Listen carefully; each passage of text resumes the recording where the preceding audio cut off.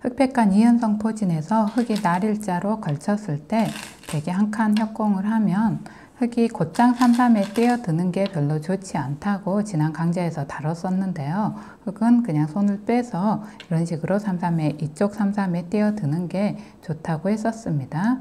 그런데 이제 여기서 흙이 삼삼에 뛰어드는 건 좋지 않은데 이렇게 양걸침 할 수는 있습니다. 이 양걸침이 그냥 손을 빼는 거에 비해서 약간 승률이 떨어지지만 큰 차이가 아니고 또 실전에서 종종 사용이 되는 수입니다. 양걸침을 했을 때 백의 응수로는 이쪽을 붙이는 것과 이쪽을 붙여가는 게 있습니다. 일단 이쪽을 붙여가는 게 이쪽을 붙여가는 것보다 약간 승률이 좋게 나오는데요. 지금 배석에서 큰 차이는 아니기 때문에 일단 둘 다 가능합니다. 그리고 백이 이쪽을 이렇게 붙여오게 되면 이때 흙의 응수로 젖혀가는 것과 그냥 삼삼에 뛰어드는 수가 있는데요. 흙이 이런 식으로 지금 같은 배석에서 주변에 이렇게 별다른 돌이 없을 때 흙이 이렇게 젖혀가는 건 흙이 확실하게 좀 손해를 보는 수기 때문에 이런 배석에서 흙이 젖혀가는 수는 좀 피하셔야 합니다. 그리고 이 젖혀가는 수를 둘러싼 변화가 또 과거와 많이 달라진 부분이 있기 때문에 이번 시간에는 흙이 이렇게 젖혀갔을 때 변화에 대해서 자세히 살펴보겠습니다. 우선 백이 붙였을 때 흑이 이런 식으로 두는 것도 생각해 볼 수 있는데요. 백이 막고 흑이 이을 때 여기서 백의 blue spot으로 추천되는 수는 이렇게 뻗는 수입니다. 이렇게 뻗고 흑도 꼬부리고 여기서 백이 응수를 잘해야 하는데요. 여기서 그냥 잇게 되면 흑이 연결해서 이건 흑이 좋습니다. 그리고 이렇게 뻗더라도 역시 흙이 막아서 베개의 형태가 좋지 않습니다. 흙이 좋은 결과입니다. 여기서는 백이 이렇게 호구 치는 수를 찾아낼 수 있어야 합니다. 호구를 치고 흙이 이렇게 둔다면 이런 식으로 두고요. 이렇게 둔다면 이런 식으로 자세를 갖춰서 백이 한 집 남짓 유리한 결과입니다. 그런데 이제 백이 여기를 뒀을 때 흙이 이렇게 꼬부린 다음에 호구 쳐서 백이 좋은 결과인데요. 이때 흙이 그냥 끊어오게 되면 약간 까다롭습니다. 일단 AI는 백이 이렇게 둬서 이런 식으로 싸워서 백이 많이 유리한 싸움으로 보고는 있는데요. 흙이 좀 다양하게 교란해 올 여지가 있는 형태입니다. 이거는 서로 간에 모양이 확실하게 좀 결정이 안 된 상태이기 때문에 그래서 이런 수를 좀 방지하기 위해서 흙이 이렇게 끊어서 교란해 오는 수를 방지하기 위해서 이 형태에서는 백이 이걸 뻗는 것보다는 이렇게 두는 걸 추천해 드리고 싶습니다. 이렇게 두는 게 이거 뻗는 거랑 승률 차이도 거의 나지 않습니다. 그래서 이렇게 두시고요. 만약에 흙이 여기서 이렇게 둔다면 아까랑 똑같은 결과입니다. 뻗고 흙이 꼬부리는 거랑 그래서 흙도 이제 이렇게 둘 수 있는데요. 이거 이렇게 들여다보고 이런 식으로 둘 수 있는데요. 이렇게 두더라도 백이 그냥 막아가서 한 집 정도 유리한 결과입니다. 그래서 만약에 흙이 이런 식으로 도온다면 특히 상수를 상대로 이제 바둑을 두거나 하는 경우라면 이제 뭐 흑백이 바뀌긴 하겠지만 이런 식으로 어, 끼워 이었을 때 이걸 뻗기보다 이 끊기는 수를 방지해서 이렇게 한번 두시는 게 좋을 것 같습니다. 이런 식으로 두시는 게. 그래서 여기서 이제 흙은 백이 붙여오면 이렇게 젖히는 것보다는 이제 손을 빼는 걸 AI는 블루스팟으로 추천합니다. 여기서 흙은 그냥 손을 빼서 이런 식으로 삼삼에 뛰어들고 이 부분에서 백이 이제 어떻게 응수하느냐에 따라서 이쪽 대응을 또 결정을 하겠다는 겁니다. 그리고 백이 이쪽에서 선수를 잡아서 이렇게 둔다 하더라도 흙이 손해가 아니기 때문에 그때그때 상황에 맞춰서 또 흙이 두면 됩니다. 이런 식으로 둘 수도 있고 이제 이쪽 상황에 맞춰서 뭔가를 두면 됩니다. 그래서 흙에 손을 빼는 걸 가장 분수스팟으로 추천을 하고 있고요. 여기서 이제 곧바로 둔다면 여기보다는 이렇게 두는 게 좋습니다. 그래서 여기를 두게 되면 일단 백이 끊어가고요. 여기서 이제 예전에 자주 출연한 형태가 여기를 붙이고 백이 단수를 치고 이렇게 밀고 들어가는 수입니다. 이렇게 돼서 마무리가 일단락이 되는데 이 결과는 이렇게 주변에 배석이 없는 상황에서는 백이 반집 정도 유리한 결과로 보고 있습니다. 그래서 이제 흙이 이렇게 두면 그냥 평범하게 진행이 된다 하더라도 이렇게 둬서 평범하게 진행이 된다 하더라도 백이 반집 정도 유리한 결과이고요. 여기서 백이 이런 식으로 막으면 좀 더 좋은 결과를 이끌어낼 수 있습니다.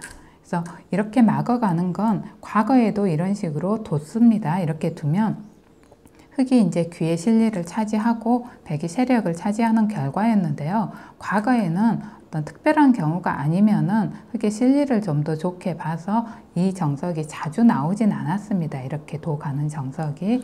근데 지금은 이제 이렇게 둬서 백이 이렇게 두는 것보다 좀 더 좋다는 겁니다. 물론 이제 이것도 배석에 따라 주변 배석에 따라 달라질 수 있는데요. 지금처럼 이렇게 주변에 뭐가 돌이 없는 경우에는 배석이 별로 없는 경우에는 이렇게 둬서 좋은 결과로 보고 있습니다. 흙이 여기서 이제 백이 이런 식으로 도 오는 거를 좀 방지하기 위해서 먼저 이렇게 두는 걸 생각해 볼 수도 있는데요. 3, 3에 뛰어들고 백이 이렇게 두면 이제 이렇게 둔다는 겁니다. 근데 이렇게 흙이 3, 3에 뛰어들면 백도 이렇게 물러나는 게 아니라 이쪽으로 차단을 하게 됩니다.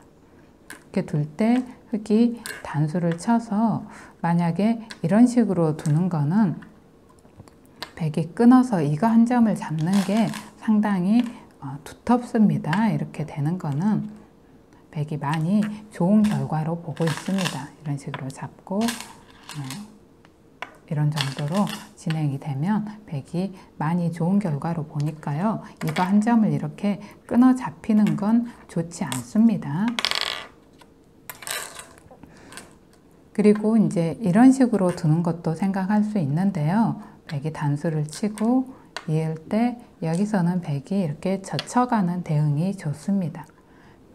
막으면 호구를 치고 단수를 치면 이어서 백이 좋은 결과입니다. 이제 끊기는 약점이 없습니다. 그리고 이쪽을 만약에 끊으면 이걸 선수하고 이런 식으로 밀어가서 역시 백이 좋은 결과입니다. 그래서 흙이 이제 3, 3에 뛰어들어서 먼저 3, 3에 뛰어들어서 이런 식으로 단수를 쳐서 어, 두는 것도 좋지가 않습니다. 그래서 단수를 치지 않고 이렇게 젖힐 수가 있는데요. 이제 물론 여기서 백이 막아주는 건 좋지 않습니다. 여기 선수로 있고 이것까지 살려올 수 있으니까요. 일단 반대편에서 받아야 하는데 그래서 반대편에서 받을 때도 백이 좀 최선의 수를 찾아내야 하는데요. 이런 식으로 받는 걸 일감으로 떠올릴 수 있습니다. 그런데 흙이 이렇게 두고 나면 물론 이것도 백이 한 집 남짓 유리한 결과입니다. 그런데 나중에 이거는 이제 이렇게 활용하는 수단이 남아 있습니다. 그리고 이런 식으로 두더라도 때는 이제 흙이 그냥 꽉 있고 백이 여기를 두면 그냥 손을 빼게 됩니다. 백이 만약에 어, 백도 이런 정도로 받아둬야 하는데요. 역시 이것도 이제 백이 한 집 남짓 유리한 결과이긴 합니다. 그리고 손을 뺀다면 이제 백이 손을 뺀다면 이쪽에는 이렇게 단수를 쳐서 이어가는 또 뒷맛이 있습니다. 그래서 백이 이렇게 받거나 이렇게 받아도 한 집 남짓 유리한 결과긴 하지만 이제 최선의 응수는 이렇게 두는 수입니다. 이게 이제 이후에 어떤 활용의 여지가 없다는 겁니다. 흙이 이렇게 뒀을 때 백이 두 집가량 유리한 결과로 보고 있습니다. 이거는 흙이 이런 식으로 움직이는 건 오히려 더 손해만 키우는 수가 됩니다. 이렇게 두는 거는 이렇게 두더라도 이렇게 돌려치게 되니까요. 결국 이렇게 똘똘 포도송이 모양이 나오고 무겁게 공격당하는 형태가 돼서 흙이 손해가 큽니다. 그래서 이 한 점이 이렇게 움직이는 수는 거의 없다고 볼수 있습니다. 그래서 음, 이제 이 형태에서 결국 흙의 최선은 이제 흙이 생각할 수 있는 수는 이, 이 정도 수입니다. 다른 식으로 비틀더라도 좋은 결과가 나오지 않습니다. 이렇게 둬야 되고 백이 이렇게 두면 이제 과거의 정석대로 가자면 이걸 단수를 치고 이렇게 여기 끊어갔었습니다. 끊어가고 나올 때 이제 찔러서 백 모양에 좀 흠집을 남겨 놓습니다. 그래서 끊어가서 흠집을 좀 남겨 놓고 있는데요. 여기서 백이 한 칸을 띄었을 때 과거에는 흙이 이걸 잡기 전에 또 이런 교환을 어, 좋게 보기도 했습니다. 그러면 백이 끼워 있게 되고 그때 흙이 이렇게 잡게 되면 백이 끊고 흙이 있더라도 백이 이걸 잡기가 곤란하다고 봤습니다. 이쪽이 얇아서 흙이 빠져나오면. 그래서 이걸 잡는 게 아니라 이런 식으로 보강을 했었는데요. 만약에 여기서 백이 이렇게 보강을 하게 되면 흙이 빠져나와서 흙의 실리가 커서 이건 흙이 좋습니다. 그래서 백도 여기서는 깔끔하게 따내는 자세가 아주 두터워서 백이 좋은 결과, 많이 좋은 결과입니다. 이렇게 나오더라도 백이 그냥 단수를 쳐서 이렇게 단수를 쳐서 충분히 이쪽을 쌓을 수 있다고 보는 겁니다. 그래서 흙이 이렇게 붙여가는 게 더 좋지가 않습니다. 그냥 이렇게 백이 여기를 뒀을 때 흙이 붙이지 말고 그냥 잡아야 하고요. 백도 이렇게 선수로 막아간 다음에 이쪽을 하나 보강하게 돼서 이렇게 되면 백이 한 집 반 정도 좋은 결과로 보고 있습니다. 그래서 이런 식으로 만약에 진행이 된다면 이제 백이 한 집 반 정도 좋은 결과가 나오는데요. 흙도 약간 그 손해를 줄이기 위해서는 여기에서 흙이 약간 손해를 줄이는 방법으로 이걸 끊어가지 않고 이렇게 나오는 수가 있습니다. 그러면 백이 끊어서 일단 실리는 백한테 내주게 되는데요. 이걸 사석 삼아서 바깥쪽을 좀 두텁게 하라는 겁니다. 이렇게 해서 흙이 선수로 활용을 하고 까지 활용한 다음에 이런 식으로 가게 되면 이제 아까보다는 손해가 좀 줄어든 이제 변화입니다. 이것도 흙이 반집 이상 좀 손해를 본 형태이긴 한데요. 그래도 아까 이제 한 집 반 가량이었으니까요. 그래서 이렇게 두는 게 흙이 그나마 백이 막아 왔을 때 손해를 최소화하는 변화입니다. 그래서 결국에는 일단 이 형태에서 백이 여길 붙여왔을 때 흙이 곧장 젖히게 되면 이제 손해를 피할 수가 없다는 겁니다. 이렇게 끊었을 때 붙여가더라도 백이 이런 식으로 두게 되면 흙이 최선으로 대응을 해도 이제 반집 이상 손해인 결과이니까요. 이 변화는 흙이 좀 피하셔야 됩니다. 이 상태에서 곧바로 이렇게 젖혀 가는 수는 피하셔야 하고요. 일단은 만약에 이 부분을 둔다면 네, 이런 식으로 두셔야 합니다. 그리고 가장 좋기는 그냥 손을 빼서 이 부분의 백의 대응을 보고 이쪽에 이제 변화를 결정을 하는 게 가장 좋습니다. 이렇게 뒀을 때 백이 만약에 이런 식으로 둬서 어떤 호수를 잡더라도 좀 두텁게 모양을 정리하는 수도 있는데요. 이렇게 만약에 둔다면 이때는 흙이 이때는 이렇게 둬도 됩니다. 이때는 오히려 3, 3에 뛰어드는 것보다 이렇게 두는 걸 조금 더 낮게 보는데요. 이제 이렇게 3, 3에 흙이 뛰어들게 되면 백이 이쪽을 막는데 이런 식으로 진행이 됐을 때 여기는 이제 여기로 이렇게 뒀을 때 백의 이쪽 두터움과 이쪽 두터움이 이제 호응을 잘 이루고 있다고 보는 것 같습니다. 그래서 백이 약간 어, 좋은 결과로 보고 있습니다.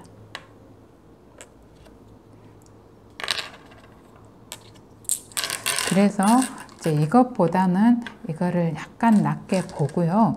이때 이제 백이 끊었을 때 흙은 흙이 여기를 두고 백이 여기를 둔다 하더라도 이렇게 뒀을 때 아까는 이게 이제 백이 반집 정도 좋은 결과라고 했는데요. 지금 이 배석에서는 흙이 이렇게 튼튼하게 자리 잡는 게 이쪽 백의 두터움을 두터움의 가치를 약간 어, 상쇄하고 있다고 보는 것 같습니다. 그래서 이제 이렇게 두더라도 호각의 결과로 보고 있습니다. 그리고 이제 100이 이렇게 선택할 수도 있는데요. 여기에서 이렇게 두는 것과 이렇게 두는 거의 승률이 비슷합니다. 그래서 이렇게 뒀을 때 이제 흙이 아까처럼 이렇게 두게 되면 백이 흙이 실리를 취하고 백이 세력을 지금은 이제 이건 좋지 않습니다. 이렇게 둬서 흙이 세력을 쌓아봐야 이쪽에 백의 세력이 있기 때문에 의미가 없고요. 이제 이렇게 둬서 흙이 실리를 취하고 백이 세력을 얻게 되는데 이런 식으로 진행이 됐을 때 아까랑 비슷하게 진행이 됐을 때 이때는 오히려 이제 이쪽 백의 두터움이 이쪽 백의 두터움이 이쪽 백의 두터움과 같이 맞물리면서 약간 중복으로 보고 있습니다. 이런 식으로 진행이 됐을 때 이 두터움과 이 두터움이 서로 맞물리면서 약간 중복으로 보고 있습니다. 그래서 이것도 호각의 결과입니다. 그래서 백이 어떤 세력을 원한다면 이렇게 둬도 되고요. 이런 식으로 둬도 되고 이제 그냥 평범하게 일단락을 시키고 싶다면 여기서 그냥 이렇게 둬서 평범하게 일단락을 해도 됩니다. 100의 선택이고요. 어쨌거나 이런 식으로 만약에 진행이 된다면 이렇게 흙이 이때는 젖혀도 어, 괜찮다라는 겁니다. 그래서 이제 이 정석이 백이 붙였을 때 흙이 젖히는 정석이 좀 주변 배석과 밀접하게 연관이 있고요. 별다른 배석이 없는 상황에서는 이렇게 젖혀가는 게 손의 수가 되니까 좀 피하셔야 합니다. 그리고 이제 그 만약에 백이 선수를 잡는다 하더라도 여기 이런 식으로 삼삼에 뛰어들어서 선수를 잡아서 백이 이렇게 제압을 한다 하더라도 어차피 백이 한 수 더 들여서 이제 제압을 한 거니까 한때 손해는 없습니다. 이런 다음에 이런 식으로 도도 되고요. 어, 이걸 약간 공격한 자세를 취해도 되고 이제 그때그때 상황에 따라서 흙이 이 한 점으로 움직이면 되니까요. 이렇게 진행을 하더라도 큰 상관이 없습니다. 그래서 어, 이 상황에서는 보통 배석이 없다면 손을 빼서 이제 손을 뺀 다음에 이쪽 부분이 어떻게 이제 일단락이 되는지를 보시고 여기를 결정을 하면 되고요. 이쪽이 일단락이 된 이후에 또 백이 손을 뺄 수 있습니다. 백이 여기서 선수를 잡아서 또 손을 빼서 삼삼 같은 데 뛰어들 수 있는데 그렇게 됐을 경우에는 흑도 계속해서 이 부분을 그러니까 이렇게 된 형태는 흙이 굳이 여기를 서둘러서 응수하지 않더라도 큰 문제가 없다는 겁니다. 그러니까 흙백간에 서로 이제 보류를 하고 둘 수가 있고요. 이제 흙도 그 주변 배석을 잘 봐가면서 이제 이쪽으로 뛰어들 수도 있고 또 움직일 수도 있고 이쪽으로 두는 게 이제 괜찮은 배석이 될 수도 있고요. 또는 계속해서 그냥 보류를 하고 다른 곳을 도 가도 되기 때문에 흑한테 어떤 선택의 여지가 많이 있으니까 서둘러서